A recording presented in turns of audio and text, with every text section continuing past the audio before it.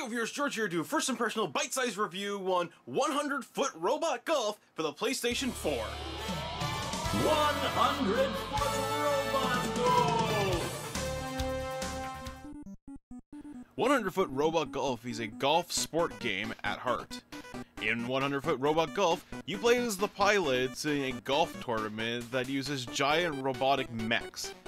A ridiculous concept on its own, but No Goblin Studio, the folks that made this game, take it even further by giving it a very late 80s, early 90s anime feel.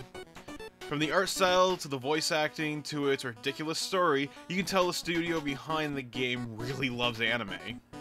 Unlike most golf games that are turn-based, 100 Foot Robot Golf is all done in real time. This means that you can do things like block other players' balls while they're in midair, and even beat the crap out of them too. Many of the obstacles on the golf course, like buildings, are very destructible as well.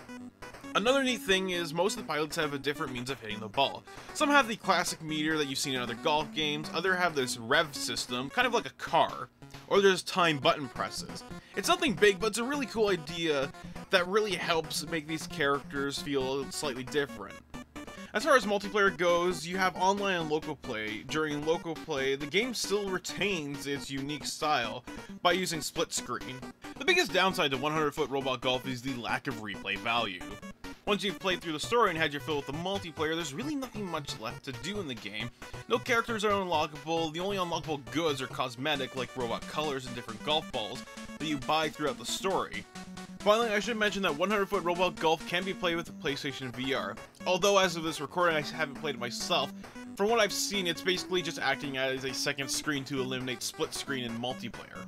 Overall, 100 Foot Robot Golf is a blast to play, and it offers this unique and really interesting new way to play a golf game that I'm shocked hasn't really been done before.